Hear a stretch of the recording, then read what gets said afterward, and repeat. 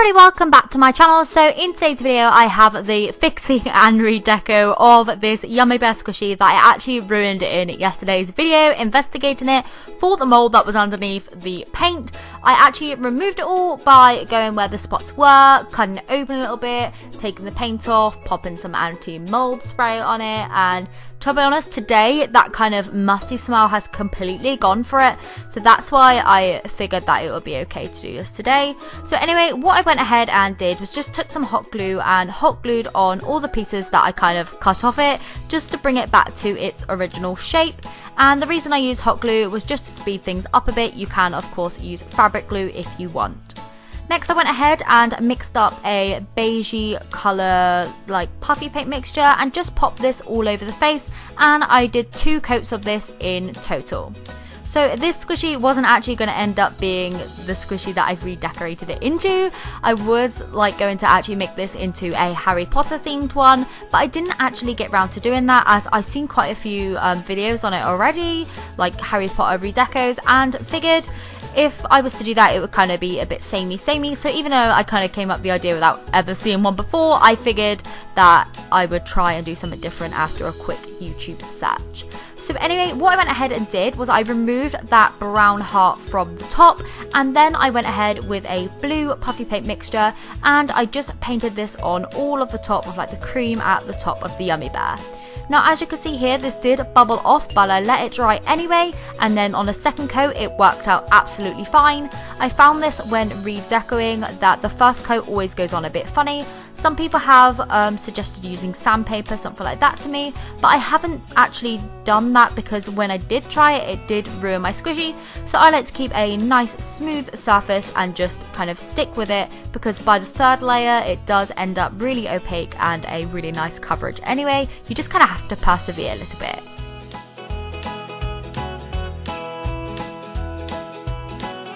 So once I had three layers of the blue paint on, I actually went ahead with some tulip um, paint again and I used a glow in the dark colour and this was just the glow in the dark green and I did a moon and two stars on the blue section of the squishy.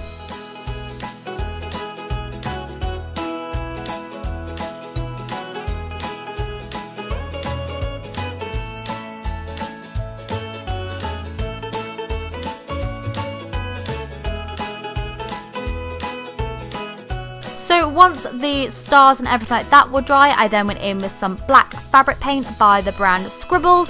And what I did was I just smoothed this all the way over the ears and did a little kind of outline on the face. Also, this outline definitely gives away what character that I am trying to recreate. So that's why I've left the black bit until now, as if I did this to begin with, you guys would have known straight away what character I was doing.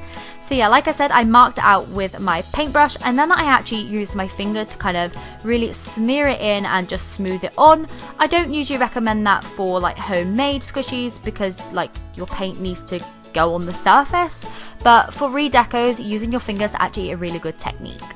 So like I said, I just used the black and covered it in all those kind of areas that I marked out with my paintbrush.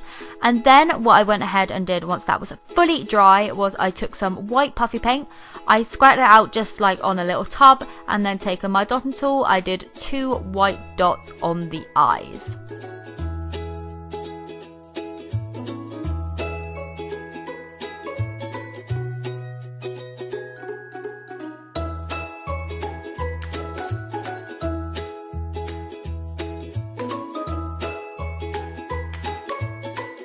So once I had done the white bits, I then went in with some black Scribbles fabric paint yet again and I went ahead and painted the nose completely in black.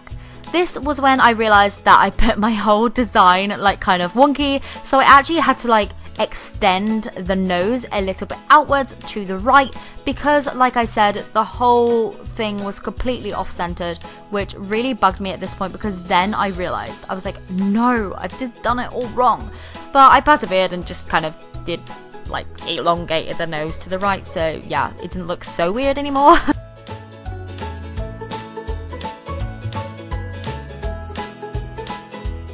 I then went in with a pencil and just drew out a mouth onto the bottom and then taking a really, really small paintbrush, I just painted on the mouth in a black puffy paint, fabric paint also.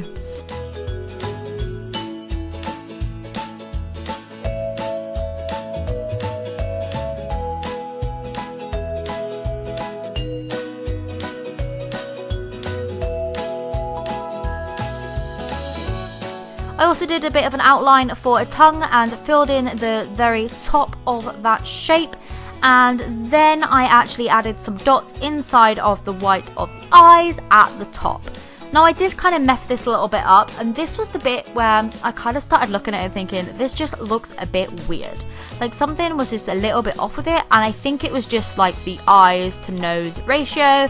But you know, it's a redeco, it's a DIY, so you know, if you feel like you can do a way better job, which I'm really, really sure you can, then don't copy what I'm doing here. Don't copy my design. Actually, just look at you know, I think we can establish it's Mickey Mouse, but look at Mickey Mouse for reference a little bit more. My eyes just weren't really picking up what exactly was wrong with mine, but I don't know. I'm sure I'll realize in a few days and be like, oh yeah, the nose is just a bit weird, or the mouth's a bit weird, but I don't know.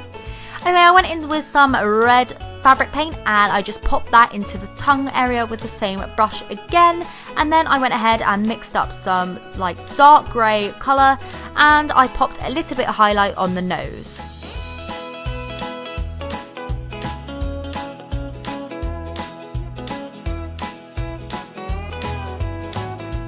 Once I'd painted on all the details, I just let that dry and as you can see, this is how it turned out. I also tried putting a line above the nose to kind of make it look like there was like a like nose 3D piece there, which I definitely think helped. I think where I actually messed up was, you know, the eye bit. I left the back a normal bun colour on purpose because I wanted it to look like it was like a Mickey Mouse bakery bun, but I did have a blue drip on it which was really annoying. It still squishes absolutely fantastic and I feel way better now that I've got all that kind of paint on there to protect me if there is even a single bit of mould inside, but I'm not going to be playing with this one anymore, it's strictly going to be for display out of reach. So anyway, I hope you enjoyed this video. If you did, please do give it a thumbs up and I'll see you tomorrow. Bye!